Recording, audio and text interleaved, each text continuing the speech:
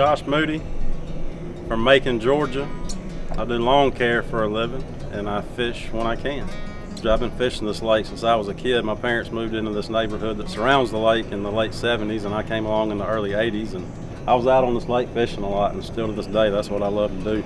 If I got some free time, you'll probably more than likely find me out here on my boat. I'm messing around and I'm just, you know, talking with the fish inside the camera and I flip it over my shoulder. And within a day, that thing lit up to like absurd amount numbers of likes. The next year and a half following that, I mean, I had people tagging me all over the world chunking fish and it got dubbed the Freedom Toss.